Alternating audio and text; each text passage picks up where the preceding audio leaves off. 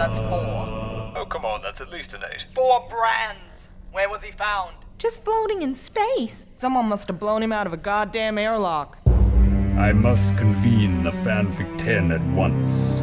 WALL-E, prepare my shuttle. Directive. It's what's on the other side that's really interesting. I'm sure it is, but we're looking for clues, so let's give the man his dignity. No, his chest.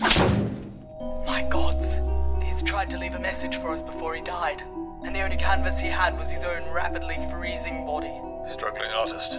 Looks like he didn't have time to complete it.